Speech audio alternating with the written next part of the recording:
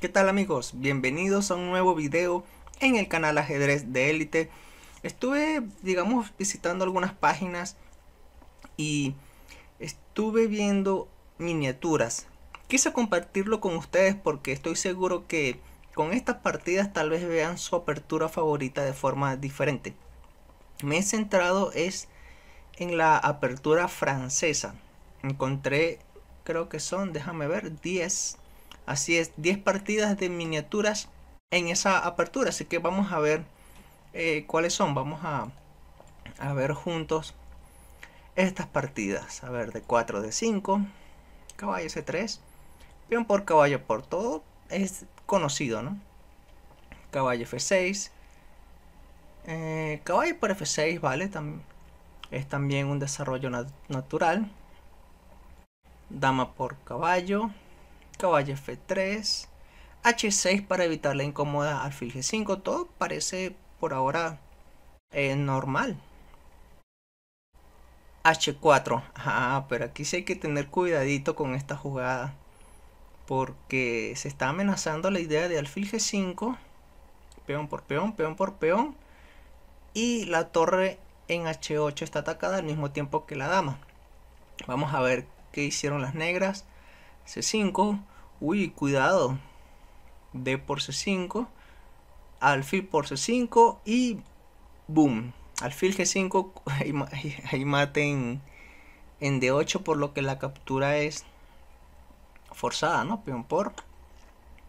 Peón por. Ahí está el doble ataque. Aquí las blancas van a ganar la torre. Vamos a ver qué sucedió. Alfil B4.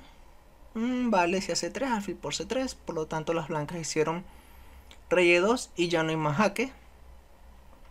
Entonces las negras para evitar la captura de la torre en H8 con jaque decidieron entregar la dama, pero luego de rey por dama, y torre por H1, bueno, ataca el descubierto, ¿no? Jaque y me voy a ganar la torre de H1.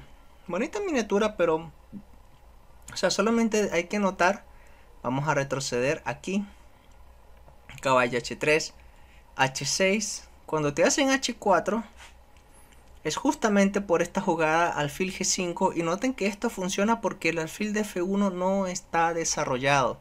Si el alfil estuviese desarrollado, la captura peón por alfil, peón por alfil, viene torre por torre, jaque como jugada intermedia. Todo esto funcionó porque el alfil de F1 estaba en su casilla inicial. A ver, veamos la siguiente. Wow, 10 jugadas, nada más duro esta partida. Veamos. 4 E6, bueno, nuevamente la defensa francesa. Bien por, caballo por, caballo de 7, ¿no? En comparación con la partida anterior en donde las negras jugaron de primero caballo F6. Vale, desarrollo, caballo F3, caballo G F6, lógico. Caballo FG5. Uy, uy, uy. Ok, aquí digamos las blancas ya están buscando problemas. Problemas. ¿Qué quieren hacer? Sacrificar en F7, supongo. Caballo por F7 y luego el otro caballo a G5. Vamos a ver cómo continuaron las negras. Alfil E7. Madre mía, no le importa el sacrificio en F7 de inmediato. Wow. Wow, wow. Bueno, es lógico también desarrollo, pero ¿Qué sucede luego de caballo por F7? Que eso fue lo que continuó en la partida. Eh, rey por caballo, claro. Caballo G5. Rey G8. Ok. Bueno, son dos peones por el caballo. El rey en G8 está mal ubicado. Pero ahora está el inconveniente de que la dama negra se coloca en E8 y ahora como las blancas continúan. A ver, ¿qué hicieron las blancas aquí? Caballo por C7. Epa, epa, Dios mío, ¿cómo vas a hacer caballo por C7? Ok, atacas la dama, atacas la torre, pero ¿dónde estás dejando al rey en el centro con un maravilloso ataque al descubierto y boom? Es mate, porque son dos jaques al mismo tiempo. ¿Qué te pasó? ¿Por qué hiciste eso? ¿Por qué hiciste eso? O sea, luego de dama e8 hay que continuar con la partida, pero el problema es cómo continuar, porque si aquí se realiza alfil c4, Creo que la jugada caballo B6 salva el día porque estás atacando el alfil, estás atacando el caballo. Epa, epa, ya va, ya va. Con cuidadito porque no quiero dejarme, eh, no quiero volarme este, eh, la dama. Yo creo que alfil C4 eh, se puede continuar con alfil B4 jaque, ya el caballo está tocado una vez por la dama. Y luego de C3, ahora sí caballo B6, porque el caballo, al estar clavado, ya el alfil de C8 puede capturar el caballo. Así que si en esta posición se continúa con alfil C4, la jugada alfil B4 seguido de caballo B6 salva el día y ganan las negras. Por lo tanto, si retrocedemos aquí, aunque parece ingenioso el sacrificio en F7, vemos que a las blancas le falta más apoyo. Son las negras las que se aprovechan del rey blanco que se encuentra en E1, pero esta jugada caballo por peón es terrible. Terrible, bueno, son miniaturas. De hecho, esta partida fue en el año de 1950. Pasemos a la siguiente miniatura. 13 jugadas, madre mía, vamos a ver qué sucedió. Ok, caballo C3, alfil B4, la variante de Winaver. Dama G4, ok, cuando existen este tipo de jugadas dama G4, las blancas van por el peón de G7, eh, pero las negras obtienen mucha compensación luego del sacrificio de G7 y también del peón de H7. Vamos a ver si eso ocurrió. Caballo F6, vale. Dama por G7. Torre G8. Dama H6. Noten que ya las negras han desarrollado tres piezas. Caballo por E4.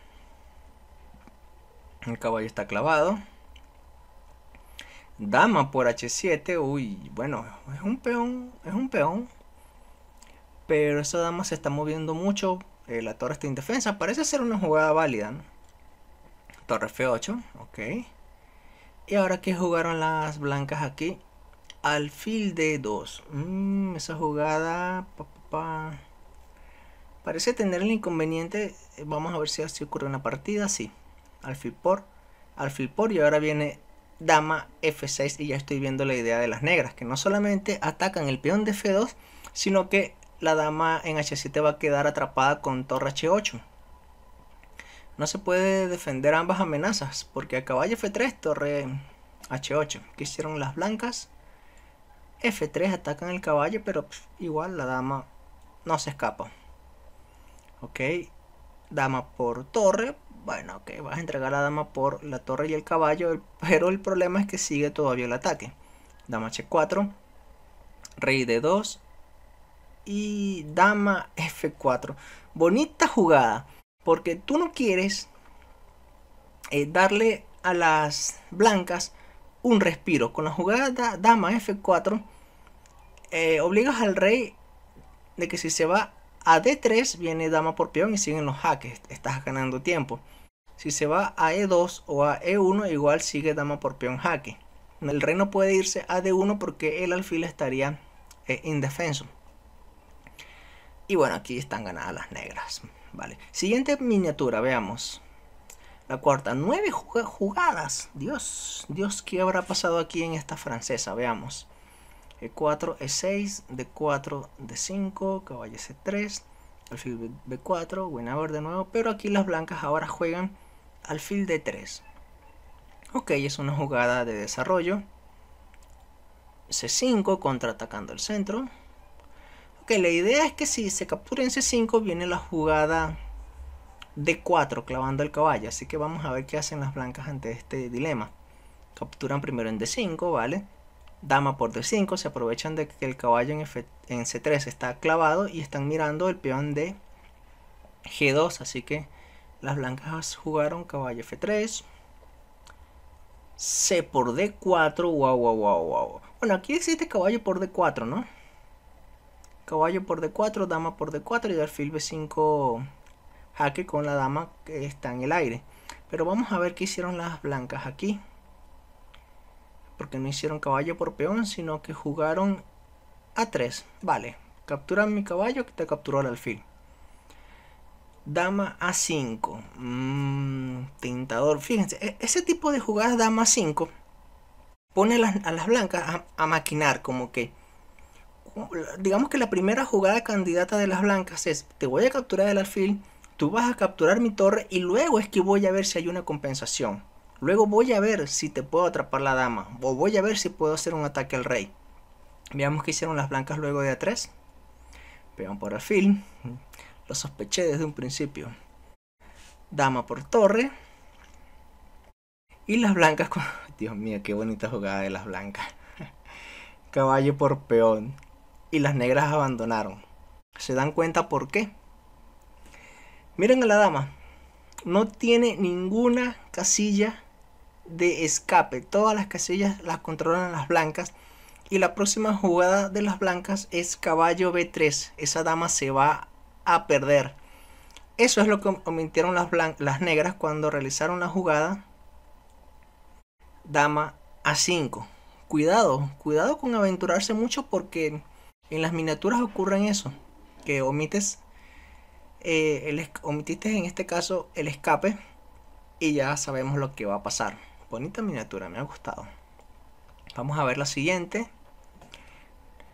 A ver, veamos nuevamente la apertura de la defensa francesa porque eh, practicando eh, varias veces con la repetición es que asimilamos el patrón de lo que nos, están, digamos, mostrando todas estas partidas. E5, variante de avance, filo de 4 E5, claro, es lógico.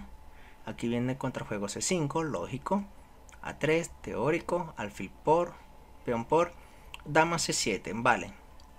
Con la jugada dama C7 es una manera, digamos, indirecta de proteger el peón de G7, porque cuando las blancas se aventuran con dama G4, las negras responden de forma activa con F5. Defienden el peón de F7 y le hacen como que la pregunta a las blancas, ¿vas a mantener el centro cerrado? ¿Lo vas a abrir con e por F6, pero eso va a permitir a las, negras ganando un tiempo desarrollando el caballo en F6 y atacando la dama.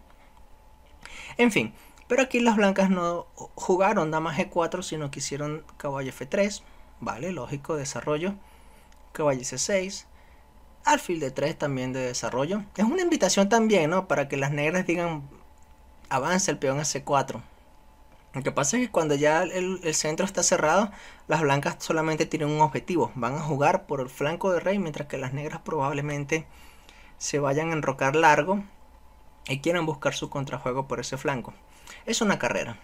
Ok, ¿qué, ocurre aquí? C por D4. Ok, esto es interesante. ¿Qué habrá pasado aquí? Ah, claro, claro. tengo la intuición de que luego de C por D4 quieren hacer caballo eh, por D4, caballo por D4 y dama C3 jaque. Mm, vamos a ver si ocurrió eso. Sí, parece que sí. Peón por, caballo por. ¿Será que las blancas se han dejado algo? Vamos a ver qué sucede. Caballo por caballo. Aquí jugaron eh, dama c3. Jaque. Eh, la torre está indefensa, el caballo está indefenso. Pero aquí se puede jugar dama de 2 porque a dama por caballo sigue alfil b5. Y si dama por torre, ¿qué sucede? Vamos a ver. Dama de 2. Dama por torre. Uf. C3, Dios mío, ¿qué es esto? dama atrapada nuevamente y la próxima jugada es caballo b3. Bravo, bravo, bravo. Bonita miniatura, me ha gustado. Quiero verla desde el principio porque parece ser una trampa que jugadores de, fuerza de Elo pueden caer porque es una continuación lógica de la Winaver, peón por, peón por, pero es en la variante donde las negras juegan dama c7. No se trata de ir con dama g4, que es un juego violento, sino con caballo f3, una jugada conservadora, y las negras van por la trampa de capturar el peón d4, y son las blancas las que invitan a ese cambio con la jugada alfil de 3. O sea que la jugada alfil de 3 es la trampa. Porque eso les da a pensar a las negras, oye, creo que puedo hacer peón por, peón por y luego caballo por D4 porque cuando la dama entra a C3 estoy tocando la torre, estoy tocando el caballo. Y yo creo que las negras van a quedar bien. Pero ese es el pensamiento erróneo, esa es la trampa. Y aquí las negras caen. Boom.